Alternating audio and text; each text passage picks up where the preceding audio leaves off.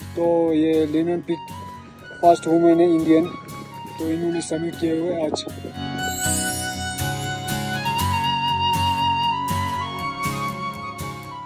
जित दूध दही का खाना देसा में देश हरियाणा।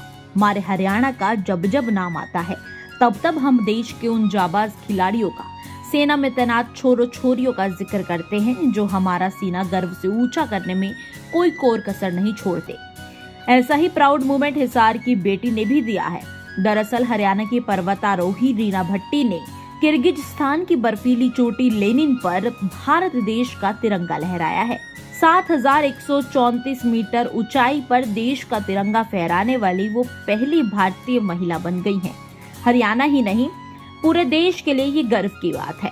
मीडिया रिपोर्ट्स के अनुसार पर्वतारोही भट्टी किर्गिजस्तान में लेनिन चोटी पर चढ़ाई के लिए 14 जुलाई को भारत से किर्गिजस्तान पहुँची थी।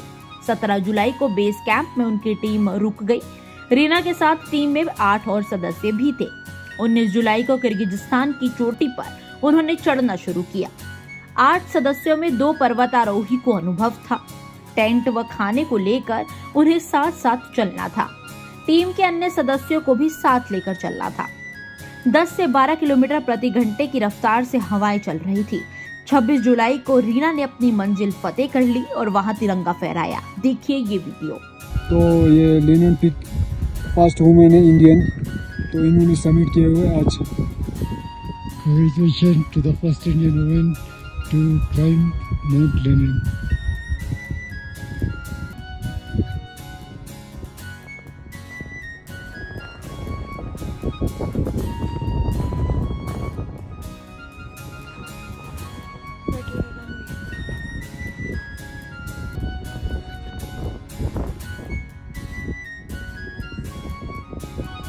चोटी फतेह करने के बाद रीना घर लौट आई हैं। परिजनों में खुशी का माहौल है। आपको बता दें, रीना भट्टी इससे पहले कई चोटियों को फतेह कर चुकी है। हिसार से विनोद सैनी, पंजाब केसरी टीवी। हमसे जुड़े रहने के लिए हमारे YouTube चैनल को सब्सक्राइब करें और नई वीडियो की नोटिफिकेशन के लिए बेल आइकॉन को दबाएँ। अगर आप ये वीडियो Facebook पर देख रहे हैं तो लाइक ज़रूर करें और ज़्यादा से ज़्यादा शेयर करें। धन्यवाद।